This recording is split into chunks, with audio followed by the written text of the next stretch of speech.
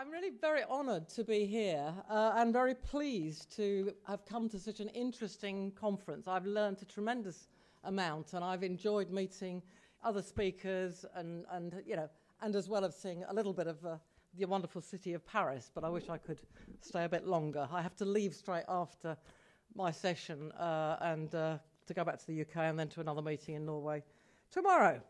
Anyway, but today I'm going to talk about gender ageing.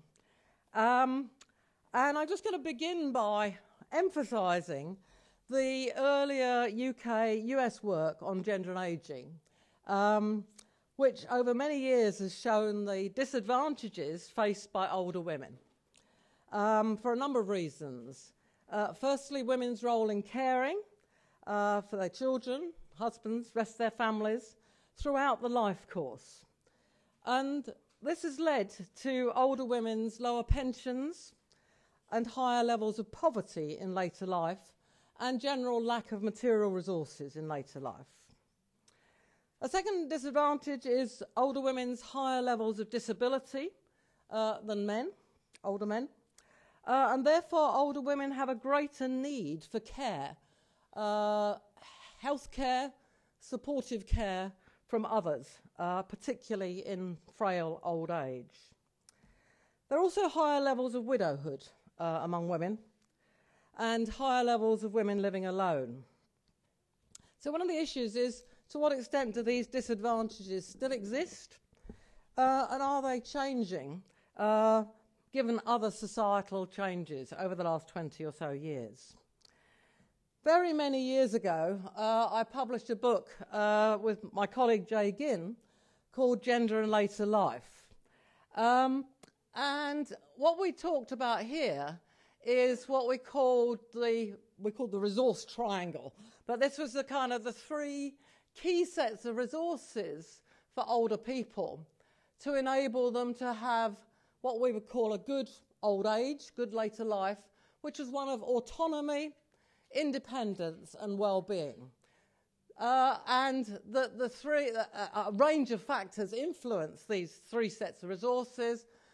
A key one, obviously, is gender, which we wrote about, but cross cutting that is class and class and gender, and also ethnicity. Um, and these three sets of resources all interact together. So older women have, as I mentioned, uh, lower financial resources because of lower pensions, lower income, uh, often have poorer housing. Uh, particularly current generation of older women are less likely to own cars, and other assets. Uh, and these material resources themselves impact on health resources, your own health resources, an older person's ability to provide care for themselves, uh, and also an older person's capacity to care for others, and given that women's role is to care for others. And as we've heard in other sessions, your class and your income have a major impact on your health and likelihood of disability in later life. Um, what I want to talk more about today, in fact, is access to caring resources. Uh, what sort of access, should you become frail and disabled? We all hope we won't become frail and disabled, but unfortunately, there's something out there called the fourth age. Many people have physical impairments and disabilities or cognitive impairments, and they need care in later life. So, what is people's access to caring resources, access to carers? And clearly, they can come from different sorts of sources. They can come from the older individual's own financial resources. They can pay for care, but that obviously is related to their material resources and their class. Or they can come from other household members, particularly partners, uh, possibly children um, who can support them. Or it may come from the community, friends, neighbours, and so on. Or they might come from the state. So those are issues about access to care and the nature of those caring resources and how easy it is to get good quality caring resources will impact on an older person's autonomy, independence, and well-being. So anyway, we, wrote this 25 years ago, but a lot of it is still highly relevant today. But other things change. Right. Okay. Much of the earlier work, uh, my own work included, um, lacked uh, an emphasis on the advantages experienced by some older women uh, compared with older men. Uh, and much recent research has shown that older women have better social relationships uh, with friends uh, and they are more able to and better maintain uh, kinship relationships. And that includes divorced older women and unmarried older me- women. And that contrasts with some work I've done on looking at subgroups of older men, particularly divorced older men, who often have very poor relationships with their children, if they had any, partly because of the divorce and the bad you know, effects of that. Um, and also unmarried older men, who are a particularly disadvantaged group, who often lack good relationships with their kin and their, their you know, if they haven't got children, most of them haven't, uh, but their siblings, children, they often have poor relationships with, unlike unmarried women who often have very good relationships with their siblings, children, nieces and nephews, and so on. So older women tend to be advantaged by better social relationships with friends and family. Um, widowhood as well, we used to see very much as a negative experience. But actually, a lot of research has shown, uh, in depth interviews with widowed older women, widowed older men, that widows often say they have this newfound feeling of independence and autonomy. So, one of my colleagues, Kate Davidson, for her PhD, interviewed 40 older men, widows, 40 older wi- women who are widowed, and she asked the question um, you know, sorry your husband died, or your wife died. You know, do you find any advantages in being widowed? And the women say, oh, well, you know, I'm sorry he died, blah, blah. But actually, I can watch what I like on television.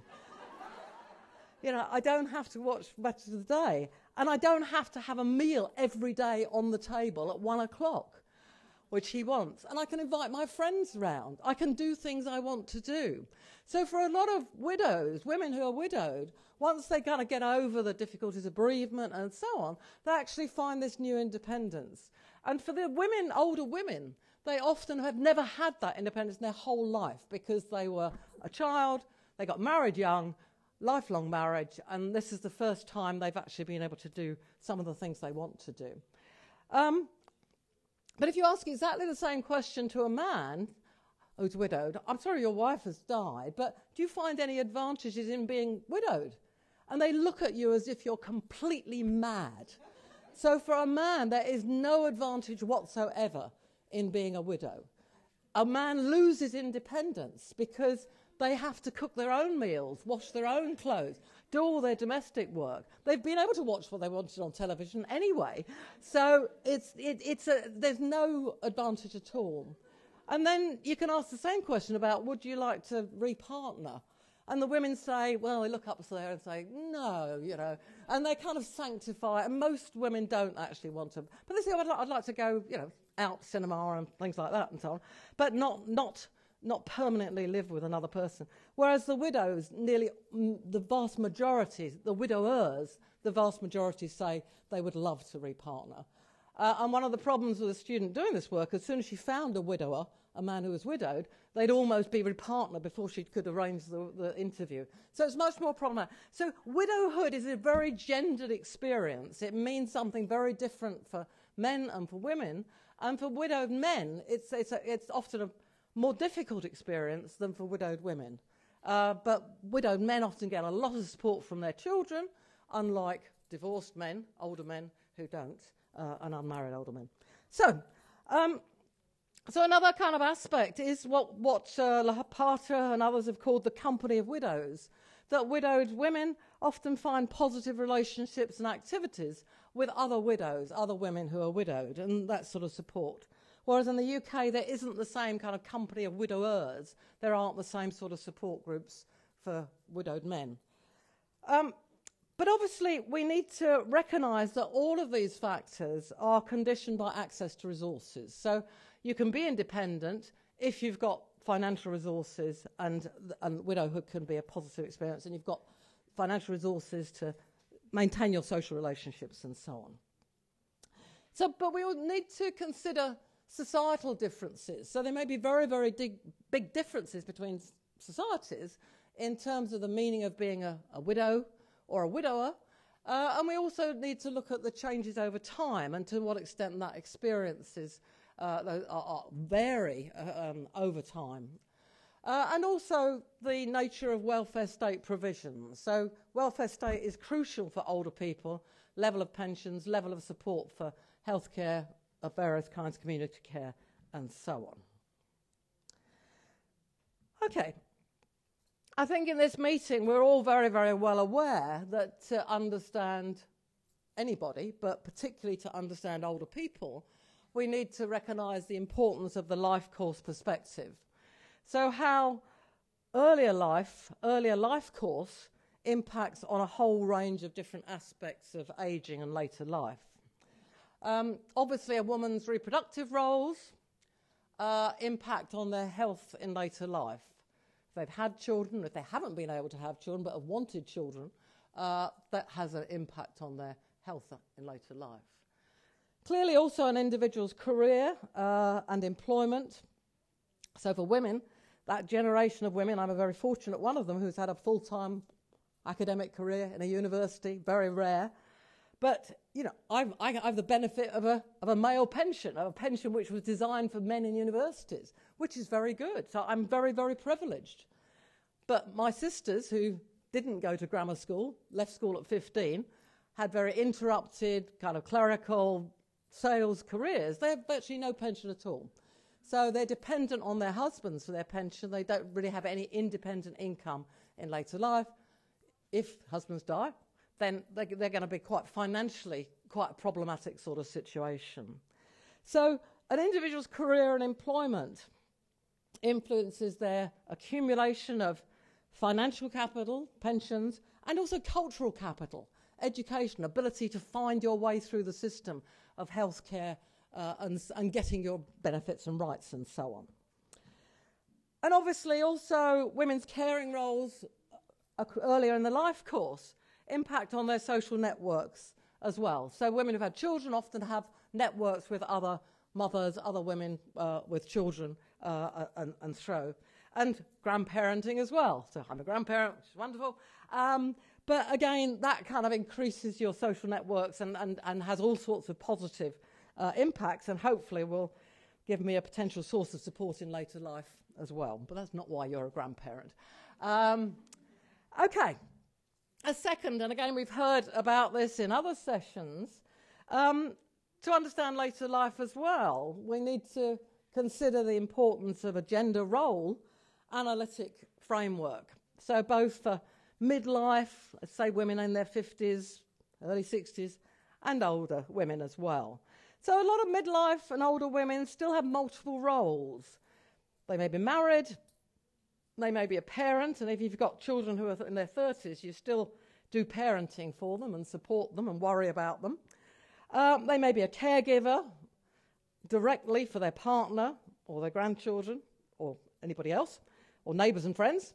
Uh, they may still be in paid employment, and increasingly in the UK, we're supposed to all work till we're late 60s, so we do all this. So, multiple roles of, and requirements of marriage, parent, caregiver, paid employment they all may influence mental and physical health, both in later life as well as for people earlier in the life course. And for many years, there have been these two theoretical uh, kind of you know, frameworks. Do, do multiple roles lead to role enhancement?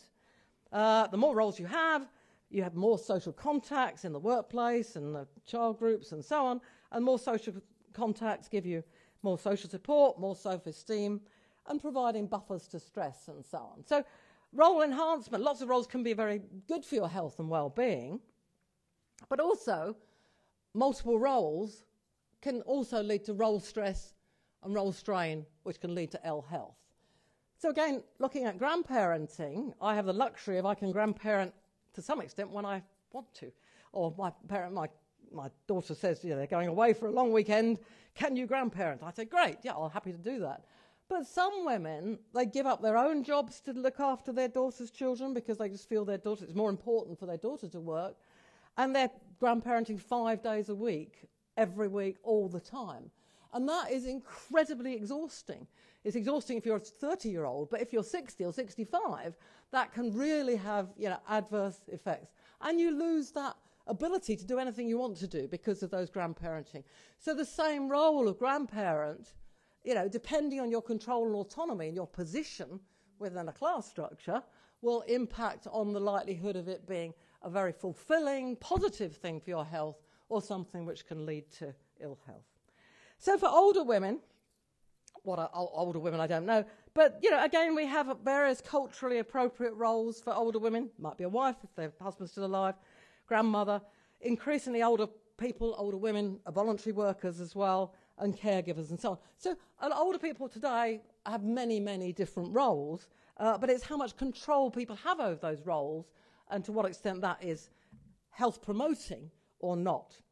So, the health impact of multiple gender roles in both midlife and later life, as early in the life course, uh, depends firstly on structural, material factors, people's resources, if you've got money, if you've got to pay for ca- paid carers or to help you care. If you have got somebody to clean your house for you, we do in England.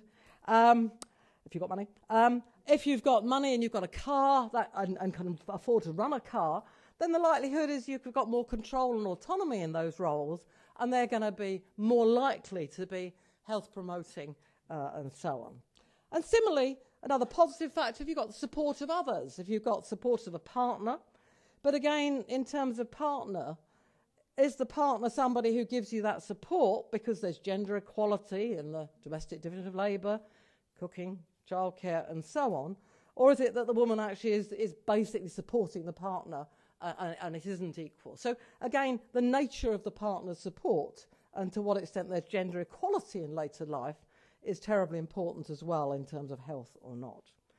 And again, we think extended families is great, adult children, grandchildren are great, but if you've got conflict in those family relationships, then that can be very negative. So again, we need to look nuance these issues. If you're in a couple relationship as an older person, what is the quality of that relationship? And if you've got a good quality of relationship and a supportive partner, then that's likely to be health promoting. If it's a poor quality of relationship and it's a partner who's totally unsupportive and unequal in, in anything uh, in domestically, then that's likely to have a more negative impact. And then, of course, the third factor final factor is the nature of welfare state provisions for childcare and elder care and so on.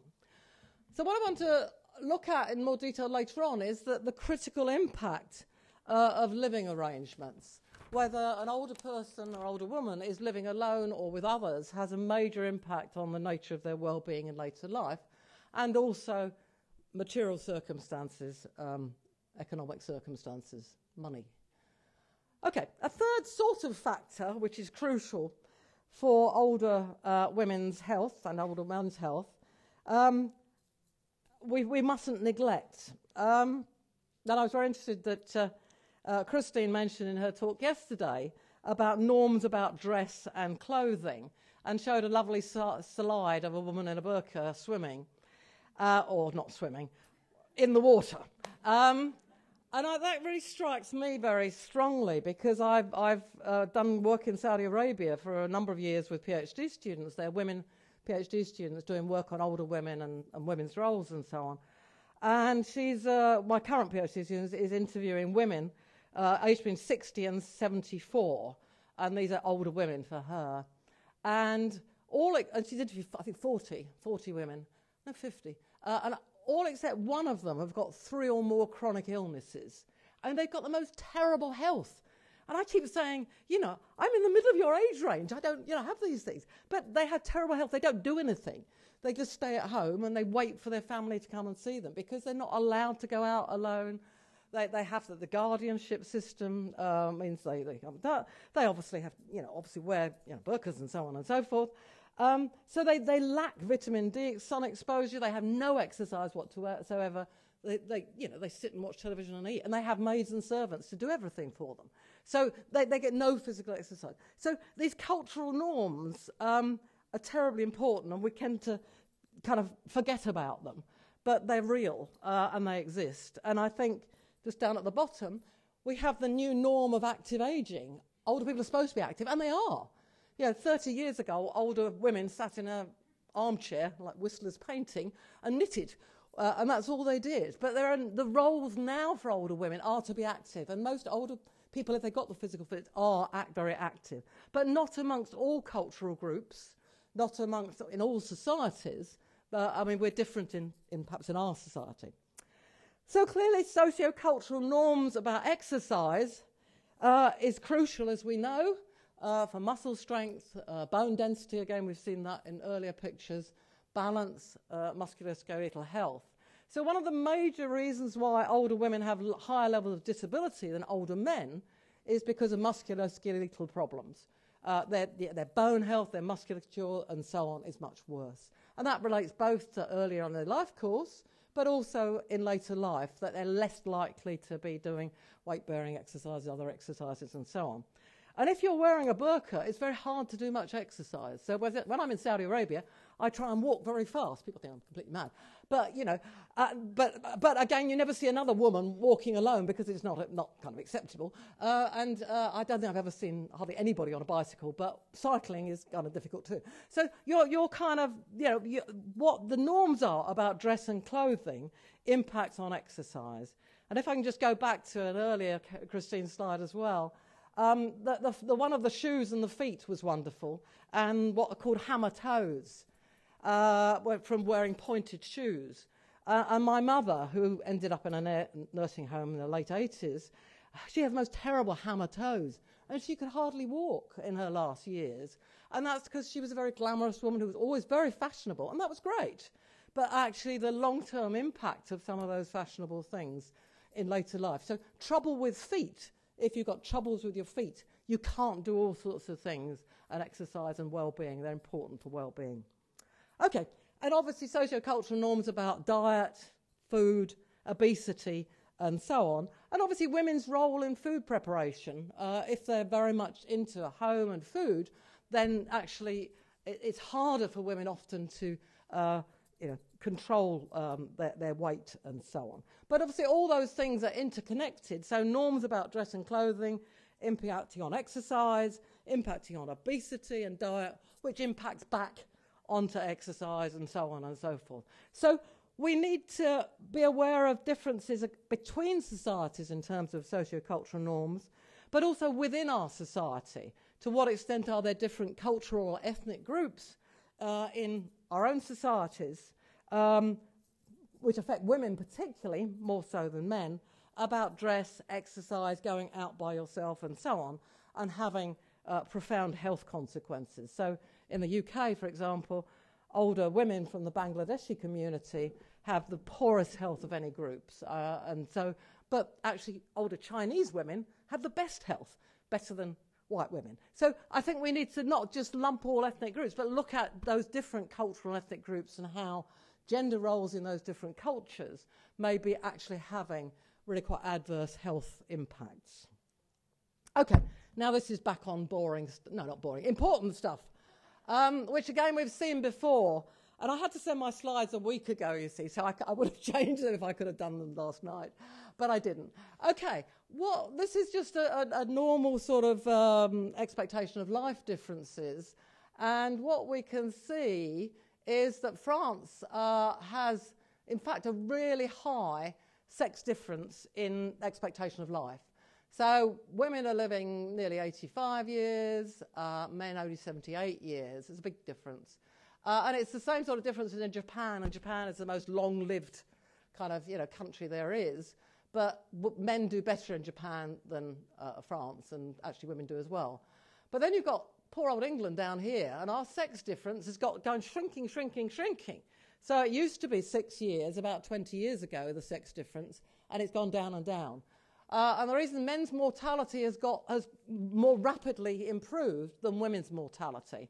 So particularly from coronary heart disease, there's been a, a very rapid fall in coronary heart disease for, for men and less for women.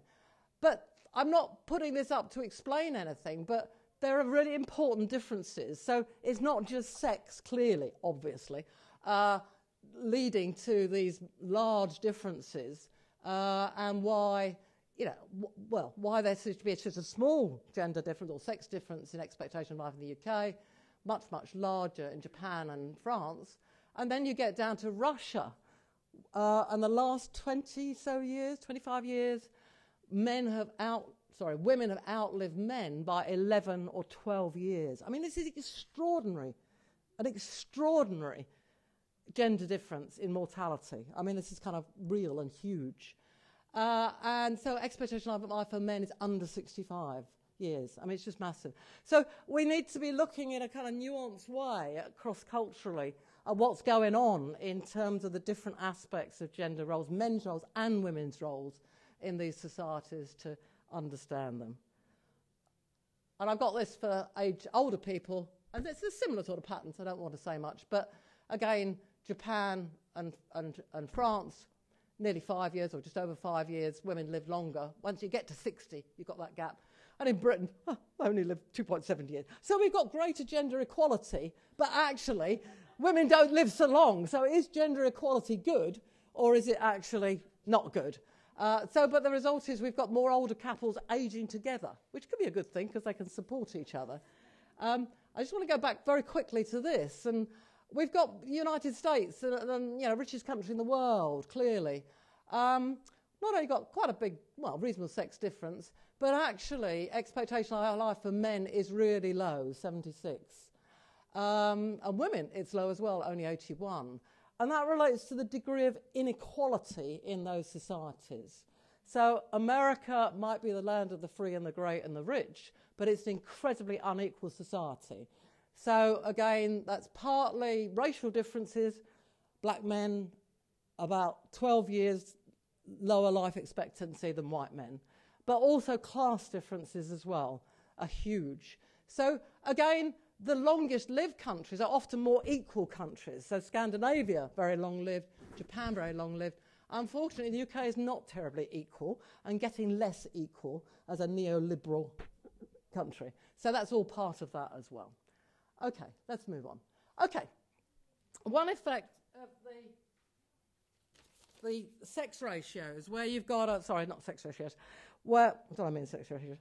I didn't mean sex ratios, I meant sex differences, sorry. Um, that where you've got a much larger, uh, a larger sex gap in expectation of life, as in France and Japan, um, what you often, you obviously have is a greater feminization of later life. So this is purely looking at the, oh, it is sex ratios, the proportion of women to men in each age group. So in the early 60s, there are roughly equal numbers of men and women in those societies. Just, yeah, 10% more, 5% more, oh no, so a few percent more women than men. Uh, but that, uh, the, the numerical predominance of women, the, the greater number of women than men, increases across the age range. So when we get to the late 70s, in France, there are about 50% more women in their late 70s than men. Uh, when we get to the uh, 80s, early 80s, it's about kind of 70 or percent more women than men. When we get to the late 80s, uh, we've got well over twice as many women in France who are in their late 80s than men in their late 80s. And when we get to the 90s, you've got three and a half times more women uh, in alive over 90 than men in both France and Japan. Whereas in the UK, we've still got a feminisation of later life, more women than men, but it's not so stark. So when we're talking about ageing, the burden of older people, isn't it terrible? We've got so many older people, costing them so much money and so on. We're, norm- we're by and large talking about older women as the burden on society, if we're using that sort of discourse and terminology. Uh, and more so in some countries uh, than in other countries. Okay, so sex ratios. Um, I think we probably know most of this that sex ratios in later life, the more women there are than men, are mainly influenced by gender differences in mortality across the life course. And these obviously differ between societies because of a whole range of factors.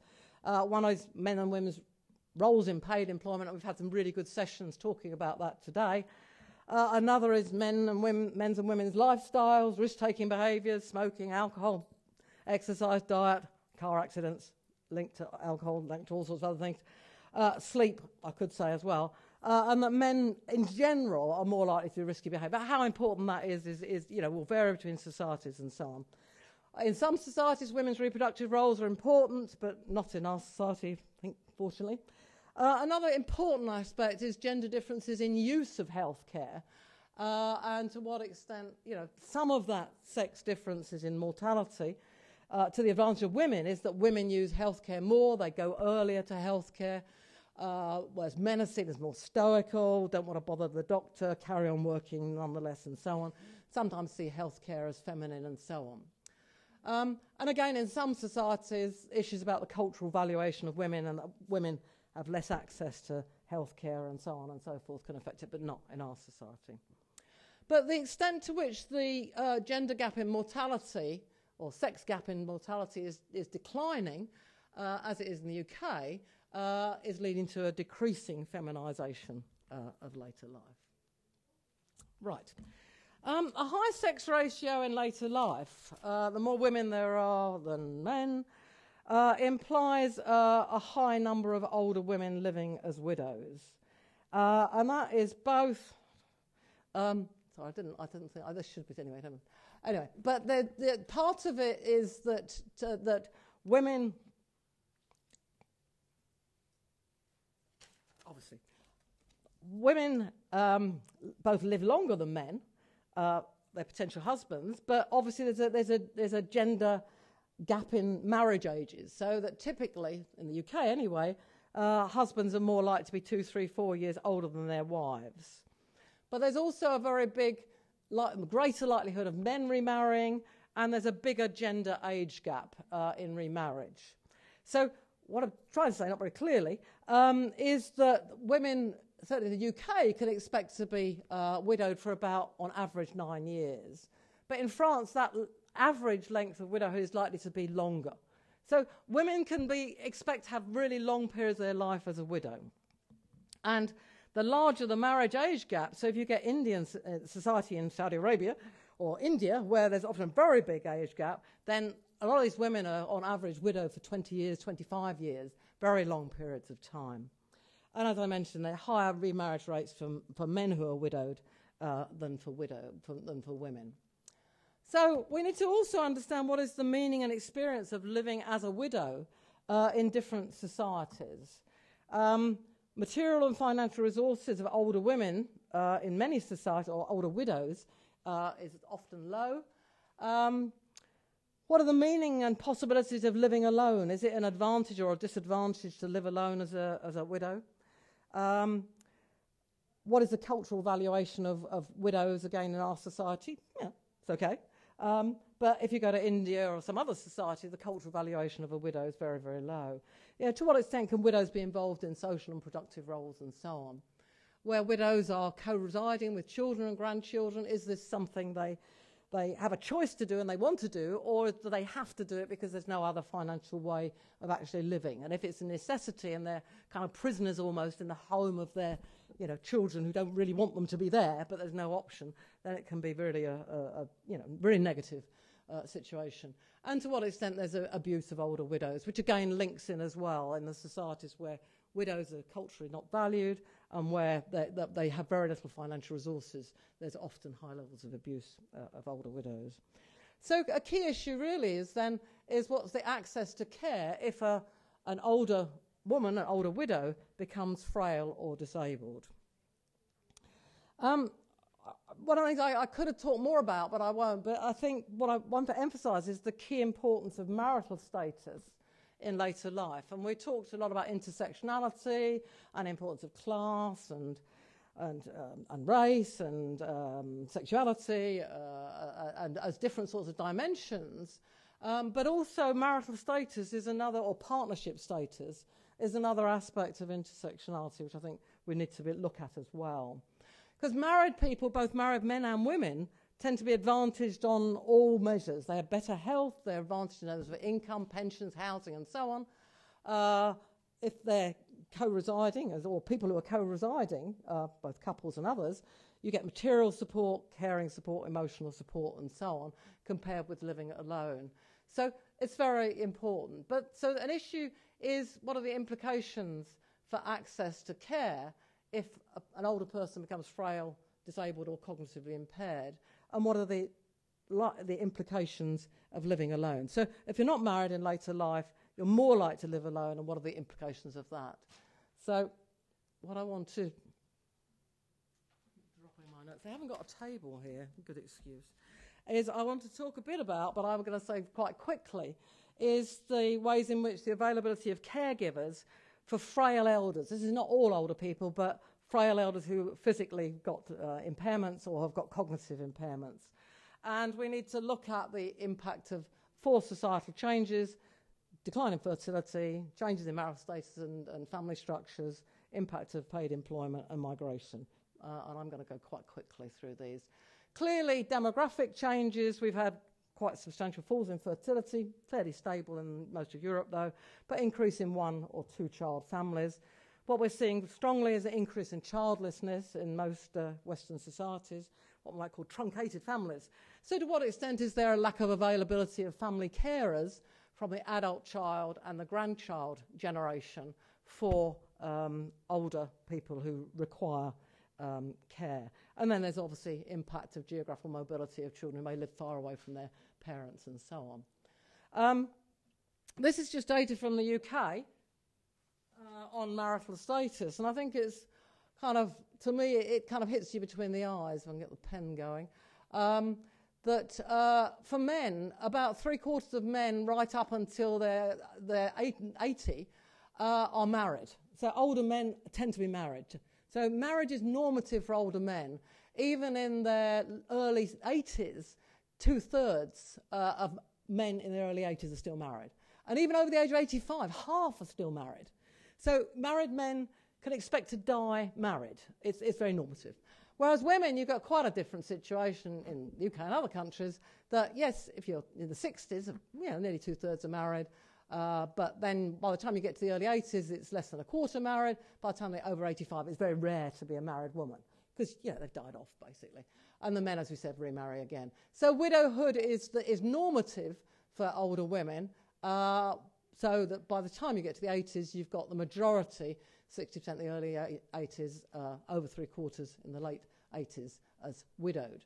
But what's also terribly important to be uh, looking at and understanding is the impact of divorce and separation. And this is often from earlier generations of people who divorce. And this is the group of people who are entering later life as divorced, as well as some who get divorced in later life.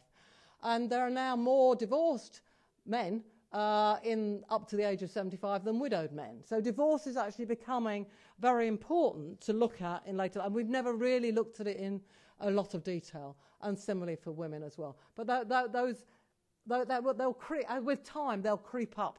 Those figures will increase. So, marriage is normative for older men, widowhood is normative for older women.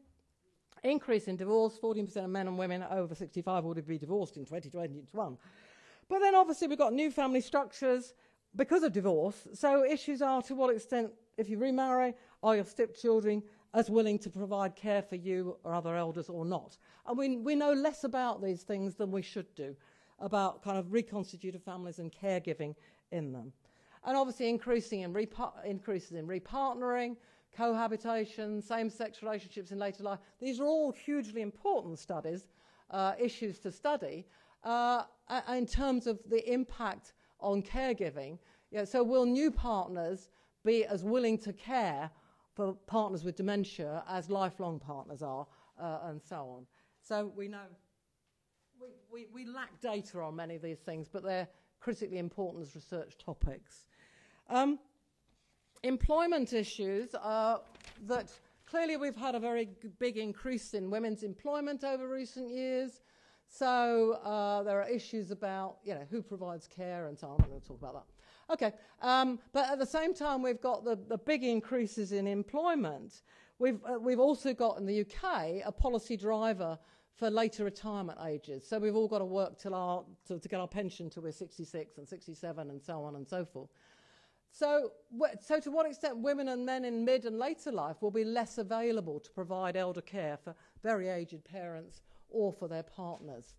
And if women give up work to provide elder care, which they often do to provide aging parents uh, and partners, then they obviously have financial and pension penalties because of that. Um, I'm not going to talk about. Okay, so in terms of caregiving for elders who are frail or disabled or cognitively impaired, um, in a multi generational household, there's caregiving, but it's very invisible. It's mainly done by women, but there aren't very large numbers of multi generational households in, in, in the UK, probably in France only. In couple only households, where you've got husband and wife, wives care for their husband, and in the UK, uh, husbands equally or almost equally care for wives. So it's normative now for men to, to be really main caregivers for disabled spouses, and that's the case in Scandinavia as well. Uh, I don't know the work in other countries. Uh, I know some work in Japan where Japanese men do not care for their wives, that's quite clear. Um, but we need to understand more about under what circumstances do spouses, male spouses, male partners, care for their female partners when they are, uh, you know, frail and disabled and need that care. I don't know the situation in France. But if people, if an older person lives alone, then it puts into very sharp relief who provides that care. Is it daughters or daughters-in-law if they have children? Is it sons, sons-in-law? Unlikely. Um, no, no, no, no, no. Sons do provide quite a lot of care. Um, is it friends, is it people in the community or neighbours, whatever that means? Is it voluntary organisations? Is it the state? And so on. So we need to look very critically at who provides care. And one of the issues for health carers, health care, the health professions, you know, you go into hospital, somebody goes to hospital, and they assume somebody can care for them when they go, go home. So I think there's often this assumption of health carers that people have family, like people have caregivers. They have somebody to go home to. And a lot of people, particularly older women, don't have people who they can care for or easily, easily call on to provide that. Okay, a key issue, I think, is that none of us want to be physically impaired and become frail, but unfortunately, many of us will become that. We don't know when, but we may well become physically impaired and frail. And what if we do become physically impaired and frail, we don't want to become dependent on other people. All the research shows people don't want to be dependent. We don't want to lose autonomy. We don't want to have what we call a social handicap. We certainly don't want to enter residential care, or most people say they don't want to enter residential care. But, the, but what it, gender, women are, tend to be disadvantaged because if you get a physical impairment and, and, or frailty, there are factors which lead to whether you're going to become dependent lose autonomy or enter residential care.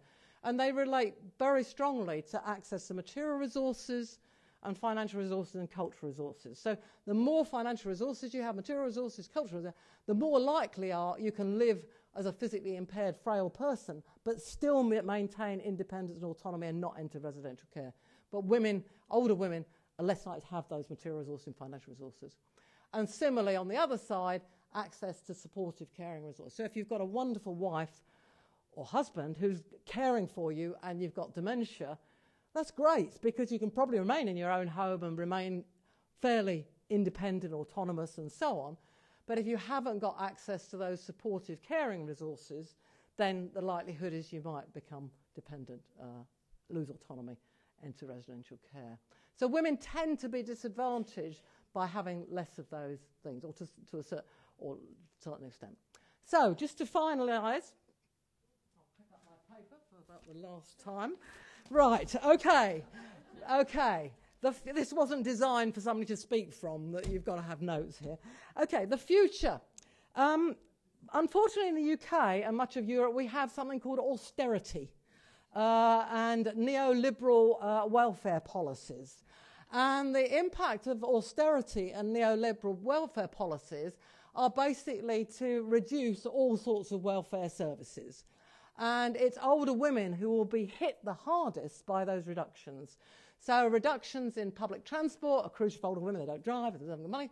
Uh, declining in health services and domiciliary support services and older people's, you know, welfare services, community, oh, no, services and so on. Um, so that, that their gender, we need to look at social and look at the gendered effects so that those social policies and austerity has gendered effects. It has greater effects, adverse effects on women than it does on men. But women do have greater, better social support. The other thing which we're seeing in wonderful neoliberal UK is a growth in inequality among women and among men, uh, among older And divorce, for example, divorced women and men are very disadvantaged and they're a rapidly increasing group. Uh, that's another talk. married men and women are most advantaged. So we've got to look at in detail the implications of increased inequalities by income, which is what we're seeing, and encouraging people to live, work longer is increasing inequalities. Because I can work longer, I'm fit reasonably at the moment. Uh, but other people, if you had a hard manual job all your life, you can't work in your late 60s. So that some of these policies are having increasing inequality uh, and increasing gender inequality as well as class inequalities and so on. Okay, so my first set of conclusions uh, relating to gender and family caregiving for elders. Older women, uh, because they live longer, they live alone, they're widowed, are the main recipients of care, and they're more likely to be frail, disabled, and so on. Uh, main recipients of family care, but midlife women uh, are the main providers of those care, that care. So welfare state policies are fundamental to care provision for elders. So if there are more welfare state policies, then that will ease the burden on the family and others uh, uh, to, to care for old people. So employment policies also influence the availability of family caregivers. So if you've got to keep working, it's actually hard to be a family caregiver. So we need to look at the interconnections between families, labour markets, and state policies, and between the public and the private spheres are all interconnected. A second whole issue is the interconnection between gender and generation. The older generation women increasingly support daughters' paid employment by providing grandchild care and financial support as well. But the grandchild care may constrain their own active ageing, self realisation, and potentially re- reduce their own pension income. Uh, and midlife women who are providing elder care for their parents' parents in law may, pro- may be constraining their own employment and reducing their own future pension income and well being in later life. And finally, uh, just to emphasise the key impact of marital or partnership status as another aspect of intersectionality. That marital status affects many aspects of the lives of older men and women, but often in different ways by gender. We need to understand why and what the implications are. Older married people, both men and women, tend to be advantaged both in health and access to material resources and caring resources. But the majority, about 70% of older men, are married uh, across nearly all societies, whereas the majority, most older women, are widowed, not married. So, widowed older women tend to be more disadvantaged financially and their access to caregivers, particularly because they're uh, living alone. So, the problems of providing care to the growing ageing population, uh, which we hear a lot about in the media, largely represents a problem of providing care to older women uh, and older women who are living as widows. And whether this is a problem uh, and such women are vulnerable to social exclusion is likely to vary between societies related to, firstly, the nature of welfare provision in that society and how that's changing. Secondly, cultural norms about family relationships and living arrangements. Uh, and finally, the cultural valuation uh, of older women. Thank you very much.